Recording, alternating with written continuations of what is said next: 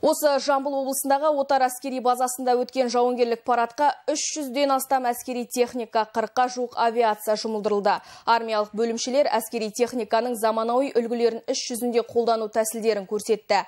Жауынгерлік даярлықты атыраулықтар лед экран арқылы тікелей эфирде тамашалады. Жетінші мамыры дәл осы күні елбасы нұрсұлтан назарбаев бұл күнді отан қорғаушылар мерекесі деп бекіткен болатын. Жыл санап бұл мерекенің өміршең екеніне өзіміз де көз жеткізіп келеміз. Биылғы салтанатты шеру жамбыл облысында өтті. Бұл шараны тамашалауға сұлтан бейбарыс алаңында сайыпқыран сарбаздар мен даңқты офицерлер жиналды. Жауынгерлік парадты тамашалауға келгендердің бірі майор юрий аделов. Көңіл күйіңізбен бөліссеңіз. Алдымен қазақстан халқымыздың бүгінгі отан қорғаушылар күнімен құттықтауға рұқсат етіңіз. Әрқашанда аспанымыз ашық болып еліміздің тыныштығы бұзылмасын қазіргі уақытта біз атар әскери базасында өткізіліп жатырған тәуелсіз қазақстанымыздың тарихындағы екінші жауынгерлік шеруді тамашалап тұрмыз. Бұл жауынгерлік шеруде қазақстан республика қарулы күштерінің соңғы үлгідегі әскери техника және қару жарақты матыбұлақ сынақ алаңында көрсетуде бұл шерудің айырмашылығы қазақстан республика қарулы күштерінің соңғы үлгідегі жаңа әскери техника және қару жарақ авиацияны көрсетуде және бұл шеруде аумақтық қорғаныс бригадаларының командирлеріне әскери ту беруі. сонымен қатар айтып кетсек бұл батыс өңірлік қолбасшылығы әскерлерінің қолбасшысы генерал майор қаныш асанханұлы абубакиров бастаған батыс өңірлік қолбасшы әскерлері де қатысуда. Өте керемет ерекше. Өткенді осындай тәуелсіз мемлекетімізде ашық аспанның алдында жауынгерлік парадты көру біз үшін үлкен бақыт.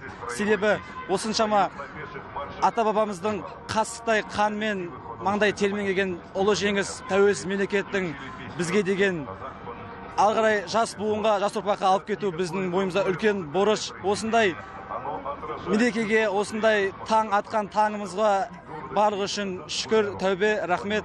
Және де құрметті отан қорғаушылар сіздерді бүгінгі мерекелеріңізбен шын жүректен құттықтағым келеді. Қарулы күштеріміздің қуаты нығайып айбыны асқақтап атақ даңқы тек қана биікте болсын. Жауынгерлік шеруде жеке құрамалардың саптық даярлығы жауынгерлік дағды сарбаздар мен офицерлердің кәсіби шеберліктері. Еліміздің қарулы күштері қатарында тұрған әскери техникасы көрсетілді. Бұл күні жиналғандарды облыс әкімінің бірінші орынбасары сағындық лұқпанов құттықтады. Қазақстанның қарулы күштерінің жетістіктері қазіргі жағдайын бәріміз тамашалап отырмыз.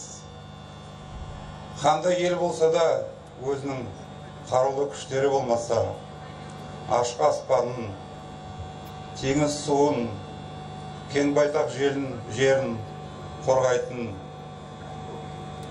армия керек.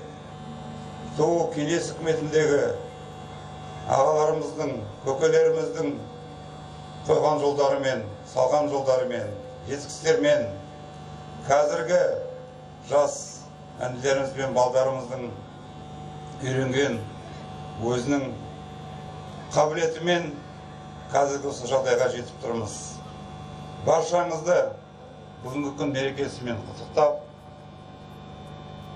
жанұяңызда амандық көк аспан шуақты күн бақ береке семьяңызға тыныштық тілеймін. Мереке құтты болсын. Жауынгерлік парад кез келген армияның қажетті құрамдас бөлігі. Жауынгерлік парадтың әскери парадтан айырмашылығы сол бұл жерде барлық техниканың күш қуаты көрсетіледі. Осындай тамаша сәтті тамашалауға біздің нәзік жандылар да жиналған екен. Олай болса ер азаматтарға арналған ыстық лебіздерін тыңдайық.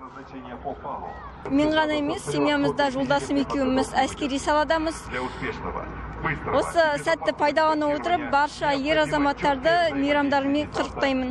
Бүгінгі күн әкеміз барлық ер азаматтар інілеріміз бауырларымыз барша қазақстандықтардың қазақстандағы ер азаматтарды бүгінгі салтанатты мерекемен құттықтаймын күн қалай осындай жарық болса әрқашан тек күніміз осылай жарқырап мейрамнан мейрамға аман есен жете берейік бүгінгі отан қорғау мерекесімен құттықтаймын сіздерге зор денсаулық тілеймін еліміз тыныш болсын аспанымыз ашық болсын тек бірлікте болайық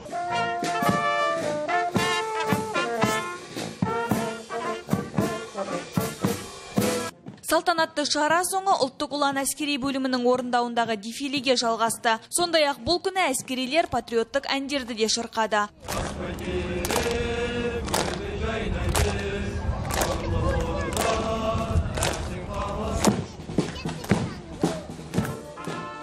Нұргүл Рамазанова, Артур Бұтпанов, жаңалықтар қызметі.